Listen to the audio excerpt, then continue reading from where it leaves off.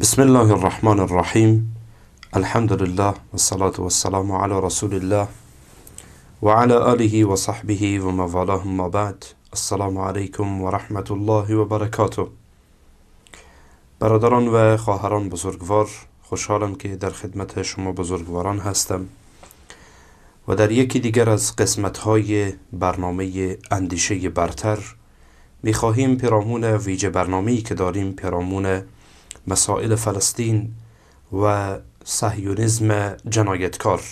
می خواهیم مطالبی به خدمت شما بزرگواران عرض بکنیم.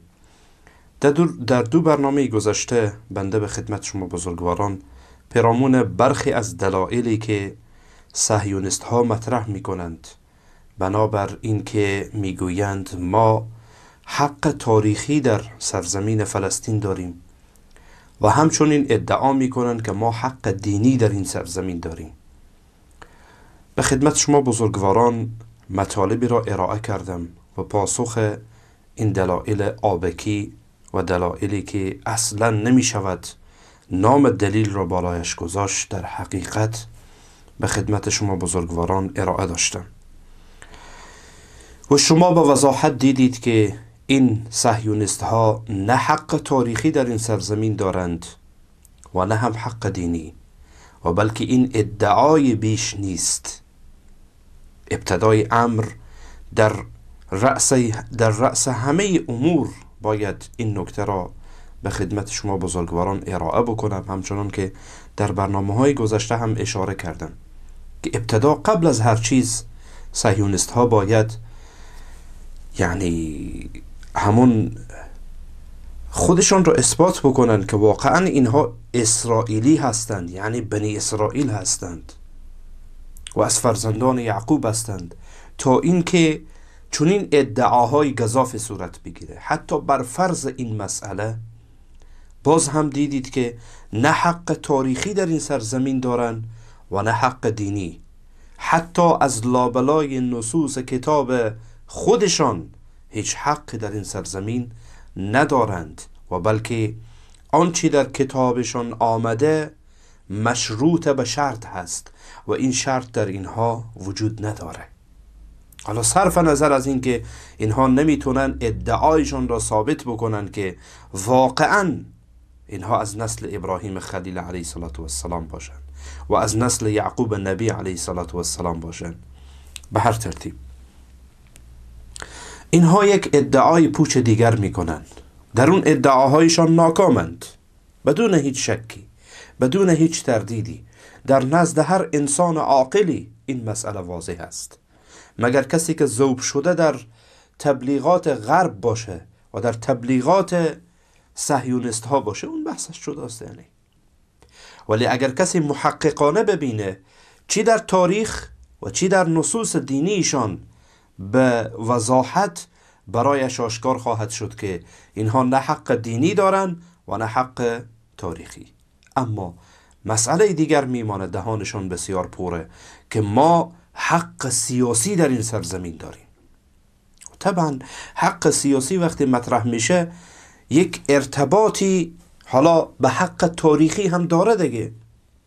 حالا شما وقتی ادعا می‌کنید که ما مشروعیت سیاسی داریم و حق سیاسی در این سرزمین داریم خب بایستی که شما در ابتدای امر از چینل اولی که همانا حق تاریخی است بگذارید بعد از آن برسید به اینجا که ما مشروعیت سیاسی هم داریم یا ما حق سیاسی هم در این سرزمین داریم. آیا واقعا شما صهیونست ها حق سیاسی دارید در این سرزمین؟ ادعا می‌کنن. می‌گویند که مگر غیر از این است که نخست وزیر بریتانیا بلفور آمد و ما را به رسمیت شناخت و برای ما وعده داد ابتدای امر برای ما وعده داد در نوزده که من برایتان دولتی در سرزمین فلسطین تشکیل خواهم داد. میگیم بله درست است. این وعده را برای شما بلفور داده. بسیار خوب. میگن که آمریکا مگر غیر از این است که یعنی از اون زمان خب شروع میشه از 19 حالا با اینکه حالا انگلیس وارد استعمار و اشغال این سرزمین خاصتا میشه و بعد از اینکه تقسیماتی که به وجود میه در میان او و فرانسه و خلاص این درگیری هایی که وجود داره. حالا در این سرزمین اشغال هست توسط انگلیس یعنی سرزمین فلسطین. اشغال هست توسط انگلیس و در طول این مدت یهودیان را از اروپا انتقال میدن به اینجا و به ایشان اسکان میدن. به ایشان یعنی آنها را در اینجا سکونت میگزینند. یهودیان. و طبعا اونها را سکونت میدن در اینجا. اون انگلیسی ها خب این را قبول داریم این اتفاق افتاده. اتفاق افتاده. و بعدا در سال 1947 که طرح تقسیم ریختانده میشه و بعد در سال 1948 اینها ادعای حکومتی می‌کنن و قبل از اینکه ادعای حکومتی بشه به هر حال انگلیس هم پا از این سرزمین ها بیرون می‌کنه چون که به هر حال نائبش وجود داره خلیفهش وجود داره که همانا یهودیان یا به اصطلاح صهیونیست ها هستن. خلاص پای خود می‌کشه و میره بیرون. و طبعا اینها را به رسمیت می‌شناسه. و در اعلام دولت و در گسترش گرفتن سرزمین ها با صهیونیست ها هم دسته در طول این مدت و برایشان سرزمین میده. در سال 1948 اینها اعلان دولت می‌کنن در دقایق محدودی بعد از اعلان دولت آمریکا از اینها اعلان حمایت می‌کنه و دولت اینها را به رسمیت می‌شناسه. در دقایق محدود هنوز یعنی یعنی دقایق بسیار اندکی گذشته حتی در بعضی از یعنی آنچه که در تاریخ نقل میشه یازده دقیقه فاصله هست. در میان اعلان دولتی توسط صهیونست ها در سرزمین فلسطین یعنی بروز دولتی و حمایت و به رسمیت شناختن آمریکا. درسته؟ اینها رو به رسمیت می‌شناسه در یازده دقیقه. در دقایق بسیار محدود یعنی. و بعد از اون کشورهای دیگر اینها را به رسمیت می‌شناسن میگن ما مشروعیت سیاسی داریم و آمریکا ما را به رسمیت شناخته و انگلیس این سرزمین را برای ما داده. و در عین حال از همه مهمتر اینکه ما در سازمان ملل عضویت گرفتیم. در سال 1949 یعنی یک سال بعد از اینکه اعلان دولت می‌کنن درسته؟ میگن که ما به رسمیت شناخته شدیم و بلکه عضویت گرفتیم در سازمان ملل. پس بنابراین ما مشروعیت سیاسی داریم و حق سیاسی داریم. حالا می‌خواهیم که این مسئله را اندکی برایتان باز بکنم. ابتدای امر دوستان گرانقدر من نمی‌دانم این کدام عاقل هست که این را بپذیره که یک اشغالگر وارد سرزمینی میشه و بخشهایی از این سرزمین را می‌گیره. اساسا آیا این اشغالگر در این سرزمین حق خودش داره؟ سوال ای اوقلای جهان ای کسانی که دم از سیاست و دم از این و آن می‌زنید. ابتدای امر آیا خود انگلیس حق در این سرزمین داشته تا برای دیگران آن را ببخشه؟ سوال یعنی سبحان الله انسان تعجب می‌کنه بر این عقولی که چنین چرندیات و خزعبلاتی را میپذیره و قبول می‌کنه. خلاص دیگه انگلیس داده برای ما. پس بنابراین ما حق سیاسی داریم و مشروعیت سیاسی داریم. در میدان سیاست هم ما حق داریم. کدام حق؟ اون کسی که برایتان بخشیده. حالا نخست وزیر انگلیس برایتان وعده داده و بعدا برای این وعده خونهایی را ریختانده. هزاران خون را ریختانده و هزاران نفر را از خانه هایشان بی خانمان کرده. و آنها را یا فراری دادند یا به این طرف و آن طرف رفتند یا کشته شدند که همانا مسلمانانی که در این سرزمین ها سکونت داشتند.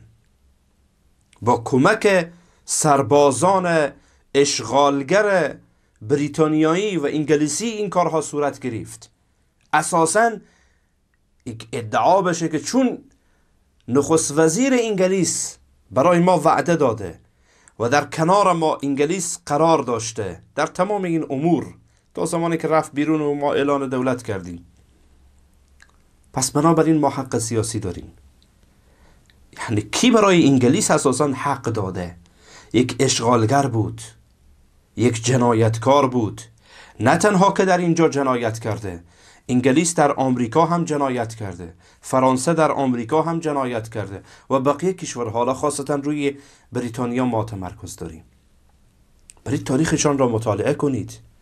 در قرن افتهم ببینید که چی اتفاقات در آمریکا افتاد.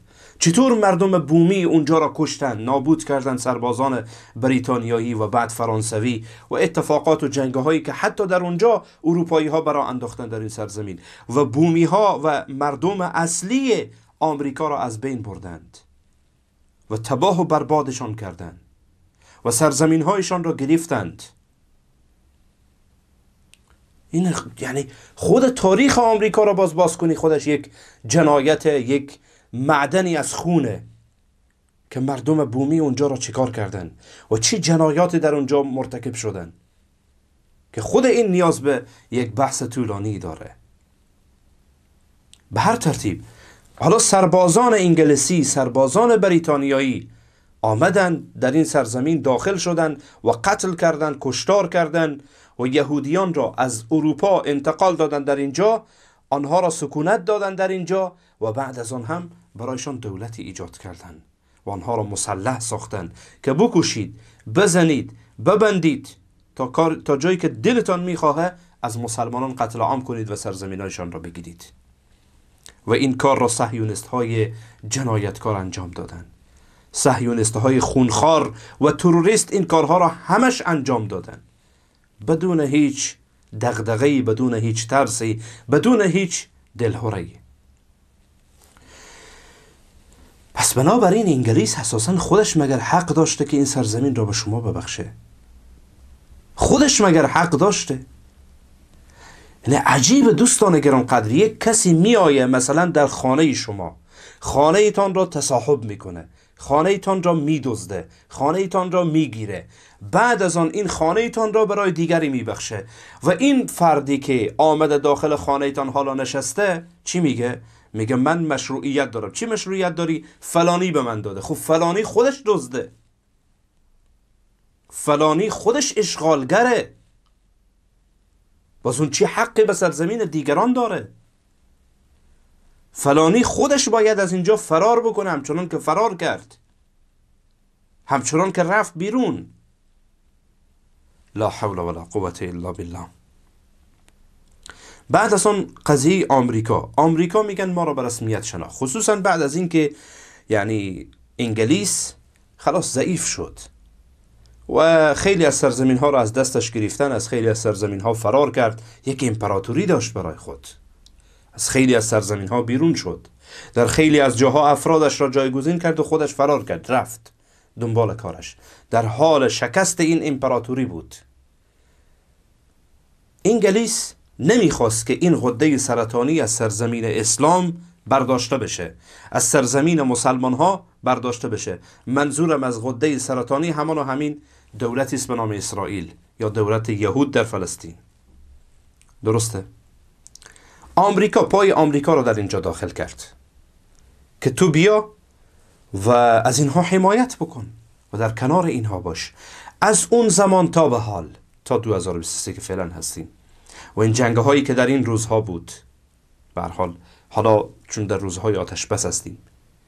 روزهایی است که در میان دو گروه در میان صهیونست های اشغالگر و مجاهدین و مسلمانان و کسایی که حق اولویت حق دینی شرعی سیاسی تاریخی در این سرزمین دارند در حال جنگ بودن. و در این روزها آتش بسی موقتی است ظاهرا. اینکه اتفاق بعدا چی میشه؟ این مسائلی است که به حال بعدا خواهیم دید ان الله اما دوستان گرانقدر تا به این زمان آمریکا حمایتگر اینه.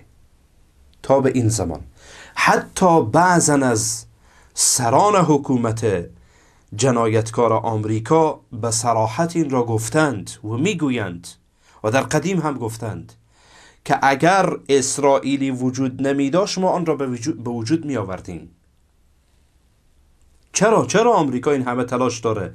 چرا صهیونیست ها ادعایشان بر اینه که ما حق سیاسی داریم چون آمریکا پشت ماست و چون آمریکا ما را به رسمیت شناخته؟ خب آمریکا چیکاره است مثلا؟ یعنی چه کاره کاره در اینجا که بیای به سرزمین دیگران تصمیم بگیره؟ درسته که نمی‌دانم یک تعداد قدرت و فلان. باشه قدرت من حرف من از اینه که آیا از منظر سیاسی یک اشغالگر یک کسی که خودش در اینجا اضافی است می‌تونه برای دیگران تصمیم بگیره؟ می‌تونه برای زندگی دیگران برای اینکه کسی بمیره یا زنده بمانه تصمیم بگیره؟ الله المستعان. این کدام عقله؟ کدام عقله که این را میپذیره؟ ولی خودشیفتگان میپذیرن قبول می‌کنن. چرا آمریکا این همه حمایت می‌کنه؟ چرا این همه حمایت می‌کنه؟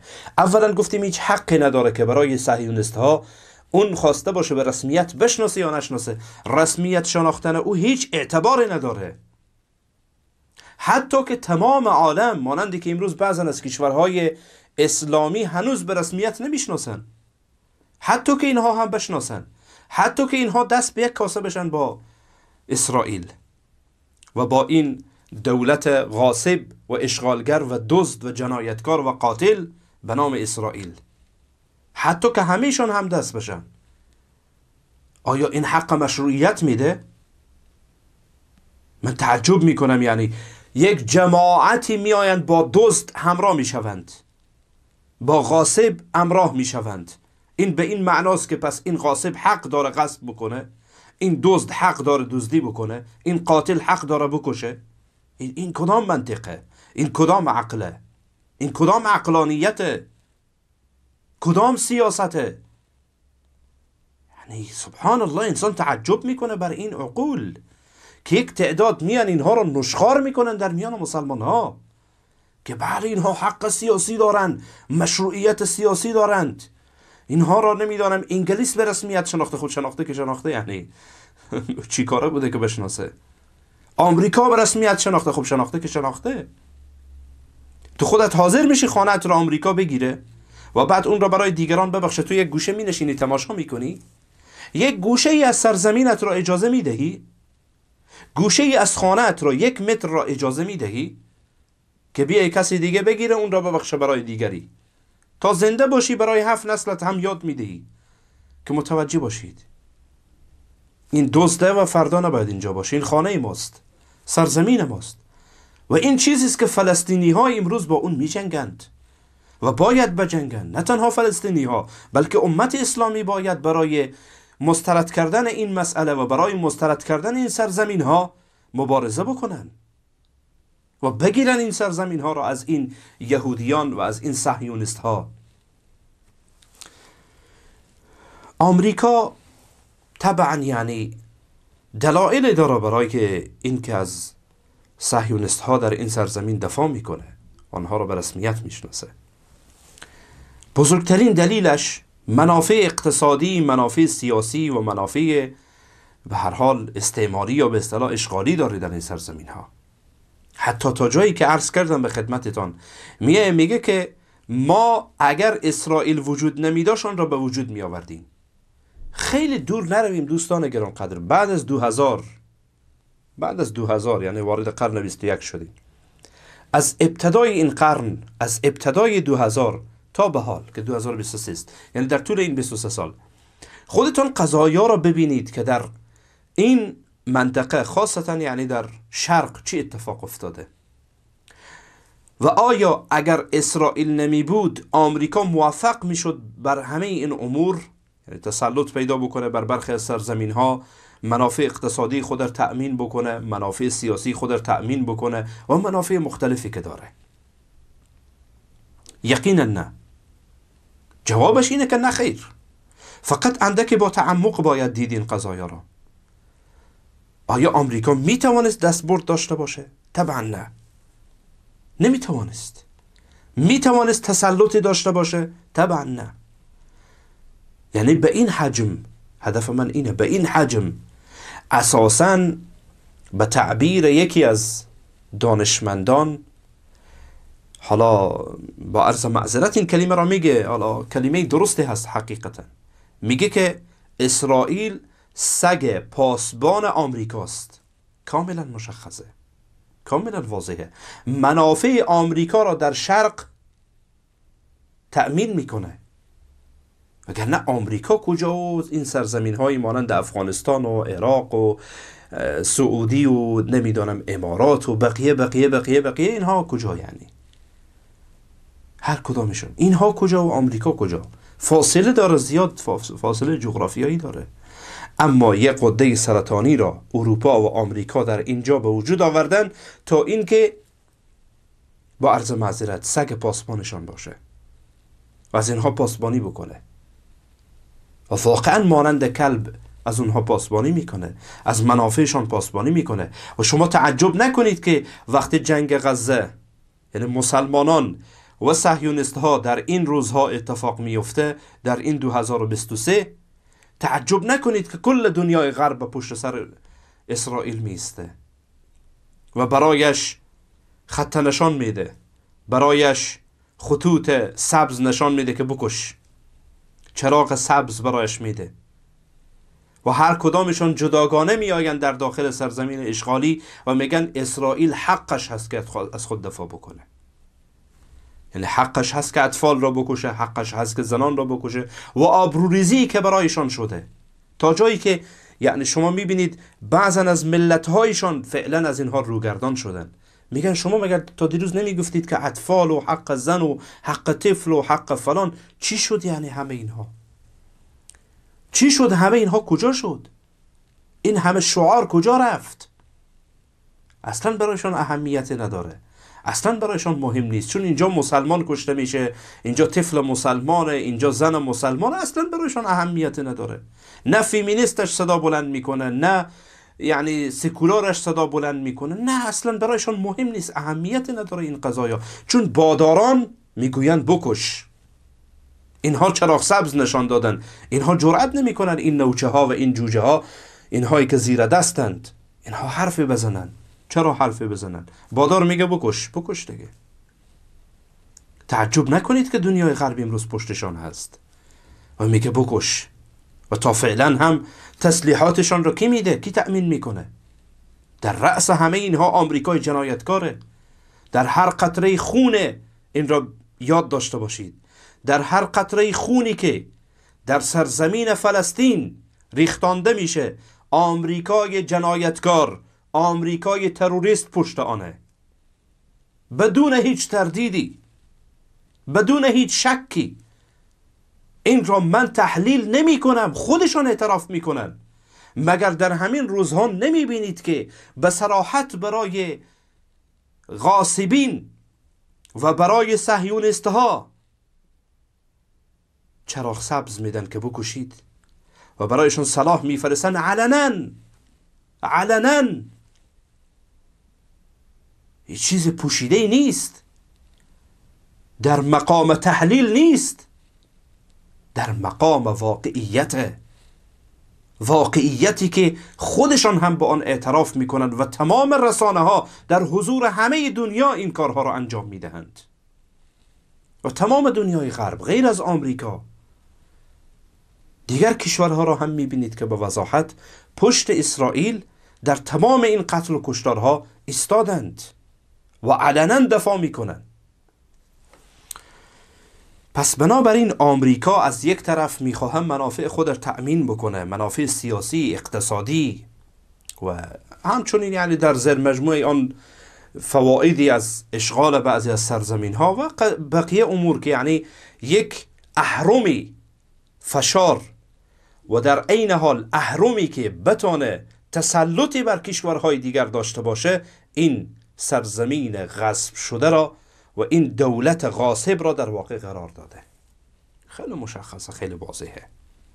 مگر که کسی نخواهد بفهمه این قضیه برای شاید دشوار باشه. این که نمی‌خواد بفهمه دیگه به حال مشکل خودش هست. و آمریکا اصلا تاریخش یعنی دلیل دومش اینه که اگر شما این عملیه را بالای اسرائیل اجرا بکنید و بگید که این اشغالگره و این چونین دزدیده فلان کرده دقیقا همین مسئله بالای آمریکا به وجود بیه با تاریخ کمی یعنی دورتر. این تاریخش 75 سال میشه مثلا سرزمین غصب شده و این دولت غاصبی به نام اسرائیل عمرش به 75 سال برمیگرده اما آمریکا عمرش بیشتره. همین عملیه در اونجا صورت گرفته. شما می‌بینید که اروپایی ها حمله ور میشن در اونجا حالا کشورهای مختلفی از جمله بریتانیا و فرانسه بعض از کشورهای دیگر. قبلش و بعدش بعد از یعنی قبل از بریتانیا بعد از بریتانیا. اینها آمدن در اونجا. چه قتل و کشتاری که نکردن. ایالت هایی را در آمریکا تشکیل دادن. برید خودتان تاریخ را مطالعه کنید خصوصا از قرن 16 به بعد. قرن 16 به بعد چه اتفاقاتی در آمریکا افتاده؟ چطور این دولت ها تشکیل شدن؟ و چطور این قدرت را گرفت؟ و چطور شد که اینها بیان سر قدرت؟ بومی ها و مردم اصلی آنجا کجا شدن؟ چی بلای بر سرشان آمد؟ و چی کسی این بلاها را بر سرشان آورد؟ و چی جنایات صورت گرفت؟ و طبعا آمریکا به خاطر پوشیدن تاریخ ننگینش یعنی دولت آمریکا را میگم دولت های آمریکا را میگم به خاطر پوشش و به خاطر زیر پا گذاشتن خیلی از قضایای انسانی و بشری این کارها را انجام داده طبعا می از اسرائیل دفاع می‌کنه. چون اگر تو خواسته باشی اسرائیل را یعنی با این یعنی منطق درست اون را زیر سوال ببری آمریکا را هم طبعا می‌تونی زیر سوال ببری. سازمان ملل میگن که ما را به رسمیت شناخته و ما عضویت داریم. خب سازمان ملل که چی یعنی شما را به رسمیت شناخته؟ یعنی چون شما را به رسمیت شناخته شما مجاز هستید که بکشید ببندید بزنید خانه های مردم را بگیرید. اساسا در سازمان ملل چی کسایی تصمیم می‌گیرن؟ چی کسان حق ویتو دارن؟ چی حرفی یعنی؟ خودتان برای خود سازمان ملل ساختید خودتان تصمیم می‌گیرید خودتان می‌زنید خودتان میبندید. خودتان یکی را تروریست می‌خوانید یکی را فرشته نجات می‌خوانید. خودتان یکی را حقدار می‌دانید یکی را بی حق می‌دانید. پس دوباره همین خودتان هستید. همین جنایتکاران مانند آمریکا مانند فرانسه مانند بقیه کشورها. همین باز شماها هستید یعنی. چهره جدیدی نیست که. کسای جدیدی که نیستند. باز شماها هستید. مگر اجازه داره کسی در سازمان ملل بر علیه شما حرف بزنه؟ یعنی دیدید چند روز قبل یکی از افراد در سازمان ملل حرفی زد تحریم کردن او را و حرفش به حق بود. گفت چرا شما قتل و کشتار می‌کنید در غزه؟ و بعضی از جنایات شما را بروز داد. با چی؟ یعنی شدتی با او برخورد صورت گرفت. مگر کسی حق داره که در اونجا با شما موافقت نکنه؟ دیگران همه سر تکان میدن. مهم همون کسانی هستند که در رأسن و حق ویتو دارن و حق رأی دادن دارن. بقیه خود نه اونها که یا مجبور خودش رو به این جهت بچسبانه یا خودش رو به اون جهت بچسبانه. اساسا این تاغوتی که به نام سازمان ملل خودتان درست کردید به رسمیت بشناسه یا نشناسه مهم نیست. اهمیتی نداره. اهمیتی نداره. چرا که باز همون اشغالگرانند باز همون دزدانند باز همان آدم کشانند باز همان قاتلانند باز همان تروریست هستند. کدام حرف جدید یعنی نیامد در میان. بر حال جزاکم الله خیرا و بارک الله فیکم برادران و خواران بزرگوار. کمی طولانی شد ولی به حال من خواستم که این قضیه را برایتان وضاحت بدم کمی باز بکنم که چرا یعنی این دلایل واقعا یعنی دلایل آبکی است و دلایل درست نیست و کسی نمی‌تونه به همچون دلایلی دست بزنه و بگه که بله من حق دارم حق سیاسی دارم کدام حق سیاسی؟ و جزاکم الله خیرا و بارک الله فیکم. در حفظ و پناه الله متعال سبحانه و تعالی باشید. تا برنامه بعد و دیدار بعد. السلام علیکم و رحمت الله و برکاته.